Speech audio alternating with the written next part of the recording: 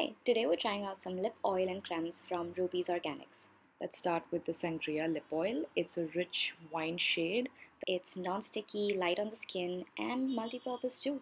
I used a bit of it on my cheeks for a natural flush and voila, it's gorgeous. Next is the lip creme in the shade Scarlet.